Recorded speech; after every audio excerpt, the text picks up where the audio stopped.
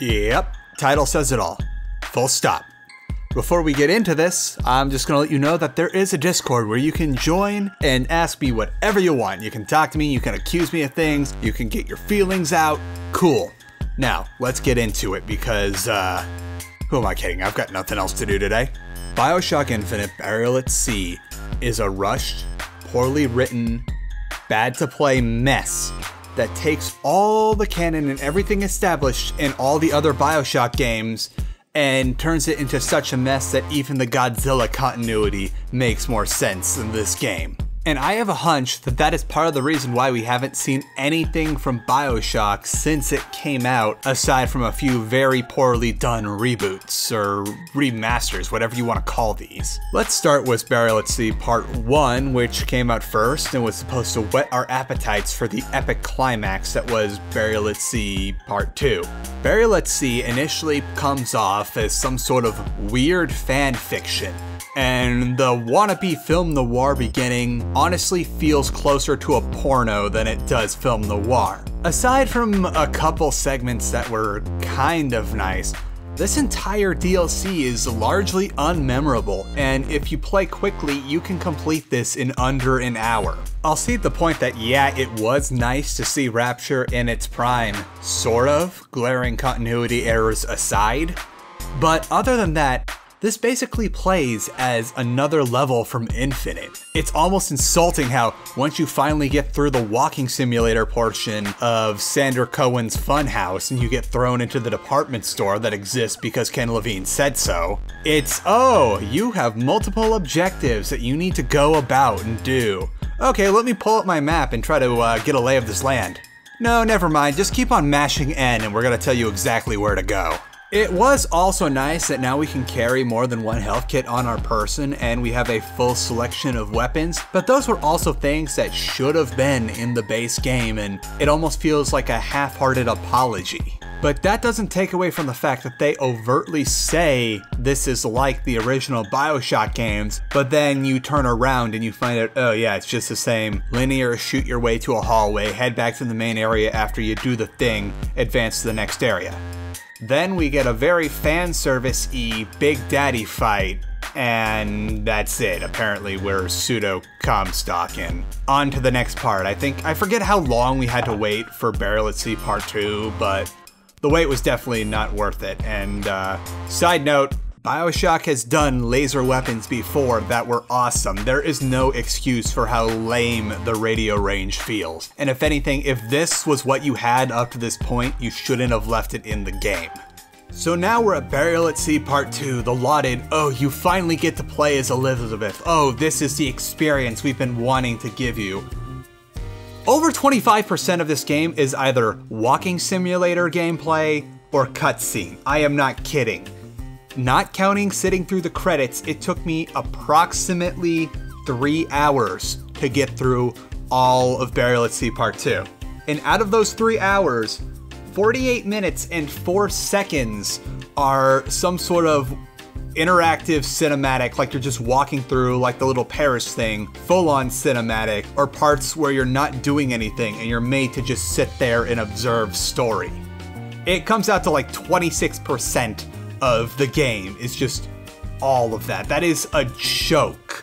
Like, you could have told this in so many better ways. You can play Half-Life 2's Lost Coast free little tech demo thing and have a lot better of a time than you would watching all the cinematics and walking simulator portions of Burial at Sea Part 2 twice in the span of all that stuff. And with the way that Burial at Sea Part 2 starts, you feel like your time was further wasted because Burial at Sea Part 1 feels like a one hour intro cinematic, just enough to make you familiar with what's going on in Burial at Sea Part 2, but everything that just happened was pretty much pointless. Burial at Sea Part 2's gameplay and the way you go through the various levels in this shopping center feels very simplified and hand-holdy Like every time there's a major objective or something you need to know, they literally draw it all out for you. They make it impossible for you to not know exactly what you need to do. And as for the stealth mechanics, these are some of the most streamlined stealth mechanics I've ever seen and I wouldn't be surprised if these were just table scraps from the original Bioshock Infinite that they had to cut out from the finalized game. Because stealth can be summarized as you've got your crouching, with occasional the floor is very loud lava.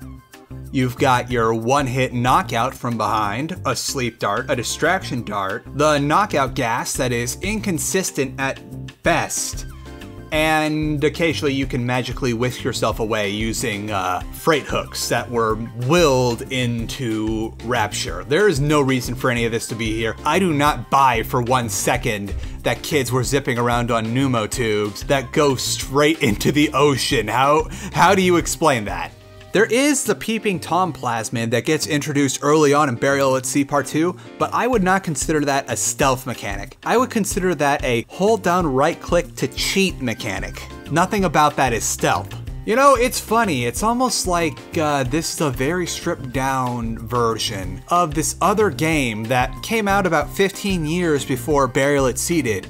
A game that's known for being the quintessential stealth game that has all these elements that were in Bioshock Infinite, except they were a lot better done, and there were a lot more things to play around with and more ways to nuance your stealth. You know, just a game that Ken Levine himself worked on 15 years ago that he was credited as one of the uh, as one of the leads for. I can't even say this right. It's just so Oh my god, did you like go into the basement, find a box labeled thief, and then just take out a few things from it and bring it up and say, yep, that's our stealth system? If we directly compare, say, Bioshock Infinite Burial at Sea to a contemporary stealth game that came out in the same year, oddly enough, the Thief reboot that was met to mediocre reviews, Burial at Sea Part 2 has about as much uh, stealth gameplay as maybe one or two levels from the Thief reboot. And it's kind of ironic to say that even with this mediocre at best stealth title, Eidos Montreal was better at making a stealth game than one of the original creators of the Thief franchise. Burial at Sea Part 2's biggest problem with its stealth system isn't that it's obviously borrowed from previous titles, but in how just simply unsatisfying it is. Almost every time you walk into a new room that you need to sneak around, you will always see the alternate pathways just perfectly framed. There's no like looking around, there's no, say, moving some boxes to reveal a vent. Everything is always just so perfectly framed that it's almost impossible to miss the pathways that they intend you to take to avoid everyone. And that makes it extremely unsatisfying. This calls back to how, just like with the objectives, they literally highlight it out in a totally different art style so that the player absolutely, positively cannot miss the way that it was intended to be done. There's no wiggle room, and there's no sense of satisfaction for slowly clearing a room or ghosting your way around, because you are pretty much led there. The enemies are always extremely slow to notice you, and almost embarrassingly oblivious at the hardest difficulties. And final insult to injury, on my most recent playthrough, I found out that it's more efficient and you won't like be completely found or killed to just barrel through rooms, just charge, sprinting the whole time through areas in Burial at Sea Part 2, and then just crouch down behind a desk or something for 10 seconds, and you will be able to go much faster and much more efficiently than if you actually tried to stealth your way through. And eventually the enemies will be like, huh? Was there someone here a moment ago? And you move on. None of this will matter though, because there are certain parts of the game where you're forced out of stealth and you have to fight enemies. Particularly the segment where you come uh, face to projection screen with Andrew Ryan. Now, I get the feeling that a lot of you have already typed in the comments section, but it was about the story it told. Well, it's a shame that story sucked and likely had an ulterior motive that we'll get to at the end of this video. It's often said in various forms of media that when storytelling, you need to show, don't tell. And I have a feeling I'm not the first person to say the phrase in video games, you don't show, or tell, but you let the player explore and discover on their own. Look at all the amazing games where you can find out all these little stories just by exploring and seeing what was happening in the world without ever being shown. Burial at Sea does a whole lot of telling. So many of Elizabeth's dialogue lines are heavy handed about Ken Levine's motifs and messages that you almost want her to just turn around and break the fourth wall already. This world values children, not childhood. Well, yeah, no surprise there. This line and its constant repetition are a perfect microcosm of how Burial at Sea constantly tries to sound super deep but comes off as tone deaf to the very world that it created, and further reinforces in this very DLC. And before you get to the end, which is a bunch of noise just like the end of the main game was, Burial at Sea heavily relies on callbacks to previously established characters in the first Bioshock to carry you through the plot. And while some of them are acting in ways that you'd entirely expect them to, for instance, Sander Cohen, as usual, is completely crazy, bordering on psychotic, but other times, it just feels like the character is existing and acting in a way that's convenient for Elizabeth or the story that they want to tell. For instance, why does Ryan only want to do things a certain way? Ryan has previously been known to try and bargain with people, or at the very least show he's open to negotiation. Or, for instance, why did we have to go with Sander Cohen? Couldn't we have, say, found somebody else in the Bioshock universe that has a vested interest in rescuing a little sister and who has a lot of influential people doing things for her benefit? Or what about the remains of Fontaine's smugglers like Peach Wilkins? There were so many avenues and so many ways that Burial at Sea could have backed up the whole there are multiple ways to achieve your goals, just like in the first Bioshock that it just doesn't make sense and it feels like the story is super narrow. Burial at Sea spends so much time trying to get you close to the big names of Rapture from the first game that it goes back to that Disneyland ride feel that the main game had. The biggest problem with Burial at Sea though, especially between story, gameplay, and everything else, is that a lot of times this is overtly Ken Levine retconning everything he did not have a personal hand in in the Bioshock universe, and then a bunch of things he did have a hand in just for the sake of telling a short, one off, poorly handled story. Pretty much all of Bioshock 2 is either ignored or overtly retconned, for instance, instead of, say, Pauper's Drop, uh, Apollo Square, which is Bioshock 1, or Persephone, where you might put political prisoners. Instead, we have this sunken department store which also goes into how they retcon the book that Ken Levine is technically credited in helping write, where instead of going to the bottom of the ocean and using domes made out of Ryanium, no, we just built these buildings above surface and sunk them down. Uh, never mind that no one's going to be suspicious about buildings being built on the surface, brought out to sea and sunk. There's a lot of bouncer big daddies where Alpha Series should have been, and I personally would have rather seen Alpha Series, as that would have been better to help establish exactly what what time in Rapture's downfall this takes place in. And there's none of the little things that help fill the world out. No posters for, say, the Limbo Room. There's, I don't think, any reference to uh, the Patrick and Moira musical, which you'd at least think you'd see a few of in Sander Cohen's whatever the heck that place was. And you get the feeling that more writing was done with an eraser than the graphite tip of the pencil, so to speak. Now, I know that Bioshock 2 was the weakest of the franchise story wise, and the Bioshock book isn't exactly uh, top canon, but still, it kinda hurts to see so much good storytelling laid aside. The only game that doesn't get massive retcons is the first Bioshock but there's still a lot of plotline liberties taken in order to make the story at Burial of Sea work. And worst of all, this game retcons itself. I'm not kidding. There's case in point, if the whole thing about how, oh, we can't get the big daddies to bind to the little sisters, oh no, Elizabeth, help us. Wait, then why did that big daddy murder us? During the first part of Burial at Sea.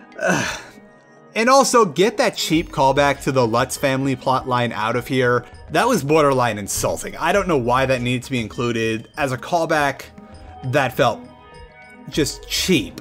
Overall, it feels like Burial at Sea goes around shoehorned in a part of Rapture that was already pretty tight, with Bioshock 2 being there, ripping everything out and burning up all the canon to provide light for the story that it wants to tell. And Elizabeth goes from a character that, while yes, was literally a demigod by the time Infinite ended, to dangerously flirting with Mary Sudom as she gets to meet all the characters from the original Bioshock. And then at the end, when you're supposed to feel good about yourself because apparently you made Jack from the first Bioshock happen, so much for all common sense of the world dictating that Fontaine would be the first person to know and likely the person to choose Jack's trigger phrase. But no, uh, Elizabeth needs to have a vital role in making you feel something in that final. Let me check my notes here, how long that stinking thing was.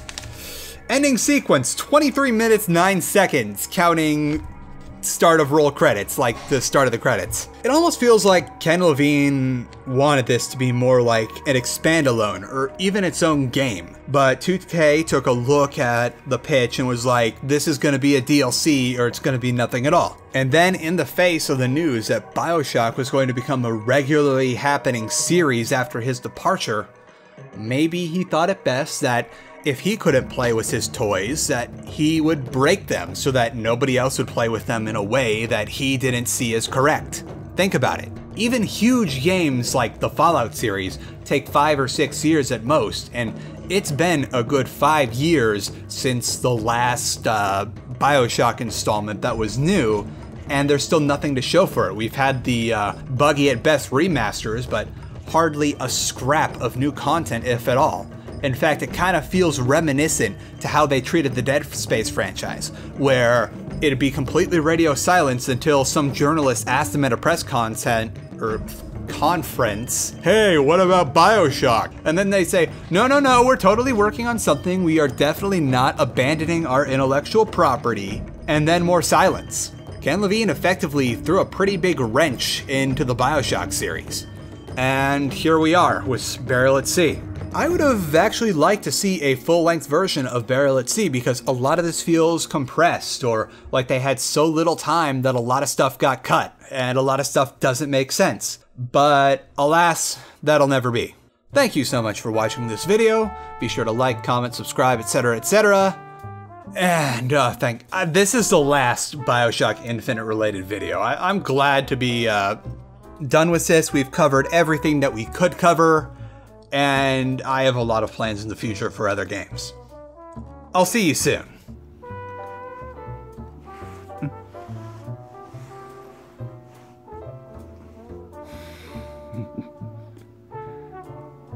Silly boy.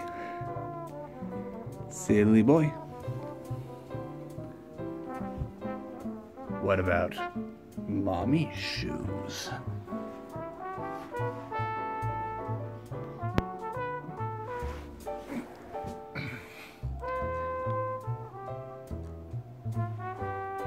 có thích không?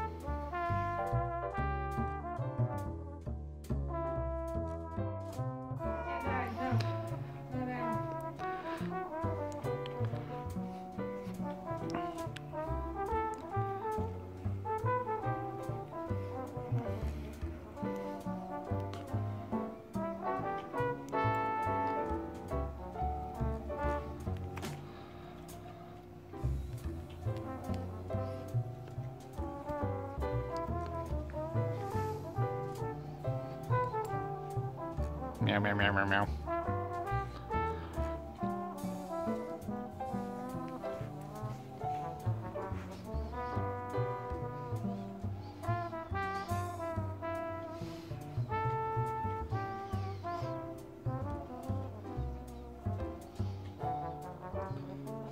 Oh, where are you going?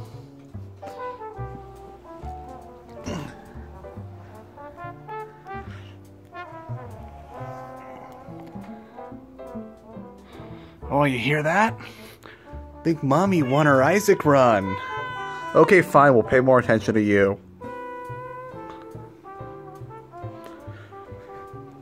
Wait, no, she's going to the chest.